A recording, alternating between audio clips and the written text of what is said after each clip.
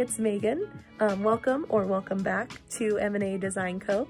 This video is particularly exciting because Angie and I together um, are going through the process of creating and nurturing a garden in our yard. Um, so we are gonna actually put out a couple of videos about this, um, trying to make them pretty short and sweet. And then that way, if you're interested in one thing and not another, you don't have to watch all of them. In this first video, we're making some raised garden beds on a moderate budget. We definitely could have gone cheaper with some materials um, that might have taken more time to put together, like smaller boards, but put more of them together. Um, we definitely could have gone more expensive with some prepared kits and things like that. Um, but we decided to build them ourselves with some moderate price materials. We spend less than $100 total on the materials to build the beds themselves and we build four so it averages out a little less than $25 per bed and that's going to last us several years of use before they need to be replaced. Just know that if you decide to follow along and do this on your own, um, there are a couple things that you will need. We used um, a drill, obviously. Um, I would really recommend using a drill and not using um, a hammer and nails because the pressure of the soil inside of the beds could push on the edges of the beds and um, maybe push your nails out. So screws are really important in this project. We also used a um, saw to saw the wood. If you don't have a saw of your own and you aren't looking to invest in any, you might just ask folks at the hardware store to cut down your wood in advance. Just know that most places limit the number of cuts you do for free. A lot of them don't really care as long as they're not super busy. They're happy to do it for you, but just have that in mind. Um, there are totally kits that exist out there for folks, especially beginner friendly kits um, that you can just slap together, but at $25 or less a pop, um, you can't really beat that.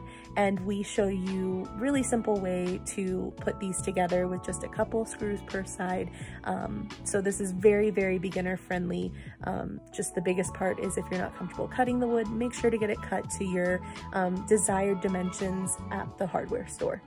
After some discussions over what the hardware store had and what we want for our garden, we decided to go with one by eight boards at six feet long and use some wood we have at home for helping with the corners so that we could save almost $100 over doing 12 inch deep sides. We're gonna do eight inch deep sides and till and unbury some of our actual ground underneath to give us a little more depth for the beds that need more depth.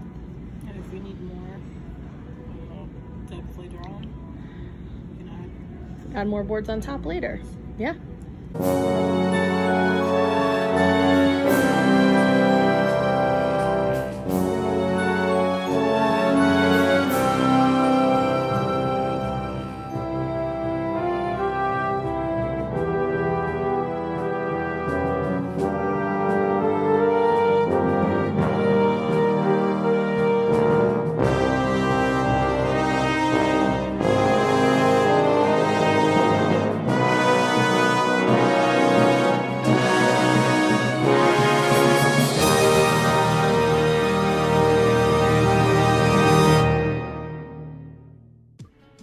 First part of our build, we screwed the small 8-inch pieces of wood that we cut to the end of our 3-foot boards.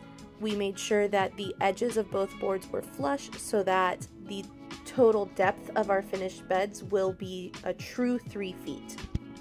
After completing this on one side of the three foot board, we flipped the board around, made sure to attach another eight inch piece to the same face on the other end to finish out this portion of the build. We then repeated this process on one more three foot board to make both ends of one bed. Turn it the other way. Angie, turn it around. Because you're screwing this side.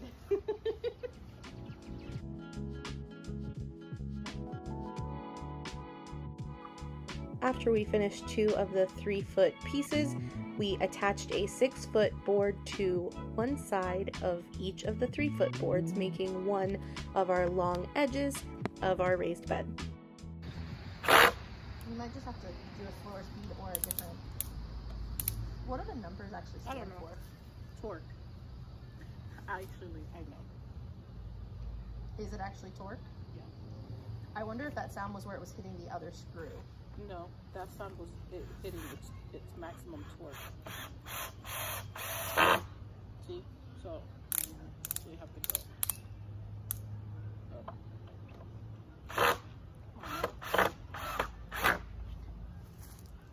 I mean, it's looking like a bed. Yeah, it is. This is quick. Don't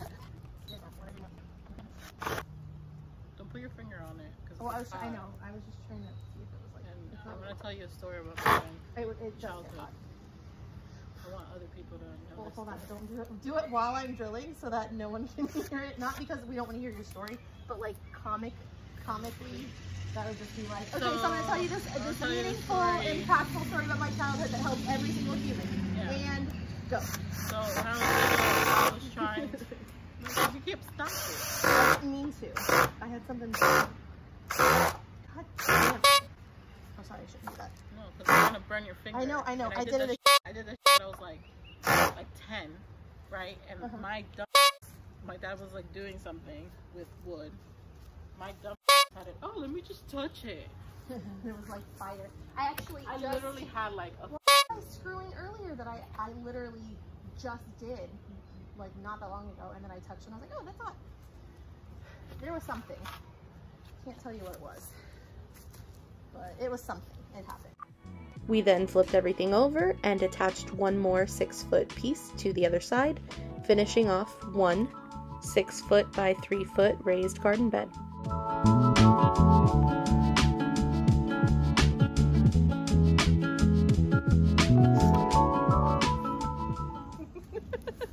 They, they couldn't see it. They couldn't see it. Hold on. We want the people at home to be able to see your mistakes. Nobody saw that, so it didn't happen. no, it happened. Yeah, I do it. There you go, girl. So one done. Yeah. We went ahead and placed our first bed into place just for the fun of it, and then built three more beds in quick succession.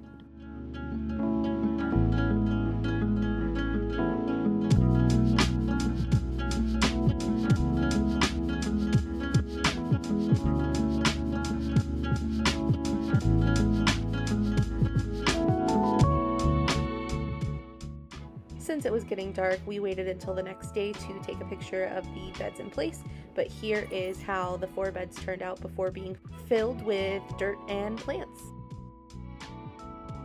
Alright, so I hope you enjoyed the video. Um, seeing a little bit of our personalities in there as well. We definitely make an interesting pair, um, but it keeps things fun.